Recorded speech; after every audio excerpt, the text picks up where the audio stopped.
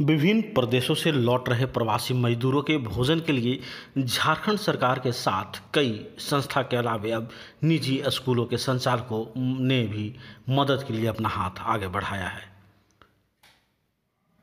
हम बात कर रहे हैं दुमका ज़िले के निजी स्कूल के संचालकों ने डीसी को सूखा राशन सौंपा है, जिसमें चावल, तेल, आलू इत्यादि।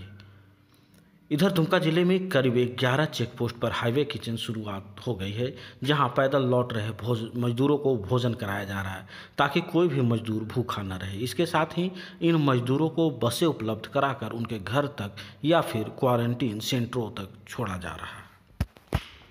इसकी मॉनिटरिंग दुमका डीसी स्वयं कर रही है और सभी चेक पोस्टों पर जाकर इसका निरीक्षण भी कर रही है और अधिकारियों को दिशा निर्देश भी दे रही है।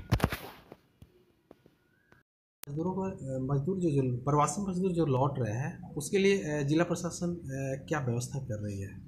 प्रवासी मजदूर जो लौट रहे हैं, दुमका जिला में अभी तक छः हज़ार से अधिक मजदूर लौटे हुए हैं और इन सभी का स्क्रीनिंग का व्यवस्था किया जा रहा है आउटडोर स्टेडियम में। इनका मेडिकल स्क्रीनिंग के बाद इनको ब्लॉक वाइज हम लोग गाड़ी का टैगिंग किए हुए हैं। उनको भोजन का व्यवस्था भी वहाँ पे किया गया है। जो होम क्वारंटाइन किया जाते हैं उनके लिए राशन का भी पैकेट्स वितरण किया जाता है।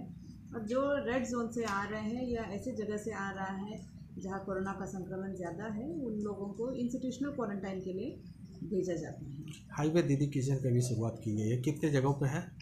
हमारे 11 जगह पे हाईवे चेक पोस्ट पे हम लोग चिन्हित किए हैं जहाँ लोग पैदल आ सकते हैं।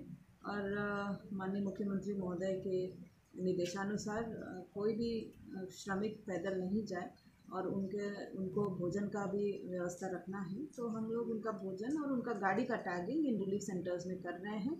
और अभी तक हमारे ज़िला में करीब ऐसे छः सौ चालीस से अधिक लोग पैदल जो जाते हुए पाए गए हैं, उनको भोजन का व्यवस्था किया गया और उनको गाड़ी में टैगिंग करते हुए संबंधित जिला में भी भेजा गया। कुछ एनजीओ भी जो है सामने आए हैं मज़दूरों को सहायता करने के लिए। तो ये क्राइसिस के समय है और हर किसी को कंट्रीब्यूट करना चाहिए और दुमका के भी कई सारे नागरिक हैं जो कंट्रीब्यूट किए हैं जिला स्तर पर और बहुत लोग वित्तीय सहायता देते हैं तो कई लोग राशन का भी प्रोविज़न कर रहे हैं। अभी हमारे कुछ प्राइवेट टीचर्स आए थे जिन्होंने काफ़ी अच्छे सामग्री को दिया है। इसमें चावल, दाल, बिस्किट के पैकेट, सत्तू चूड़ा, गुड़ सभी आइटम्स को दिया गया है। जिला प्रशासन को एक अच्छा सहयोग है, क्योंकि काफ़ी अधिक संख्या में श्रमिक और मजदूर लौट रहे हैं। उन सभी के लिए भोजन का प्रावधान सरकार के द्वारा किया जाना है। तो जितने भी लोगों का कंट्रीब्यूशन है, हमारे श्रमिक भाई बंधुओं के लिए इसको प्रोवाइड किया जाएगा और ये बहुत अच्छी सराहनीय कदम है और मैं आशा करती हूँ कि ज़्यादा से ज़्यादा लोग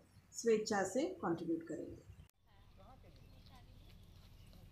के लिए तो आपका यहाँ आउटडोर से सब जा रहा है ना? नियंत्रण का सुनिए ना। स्टैंड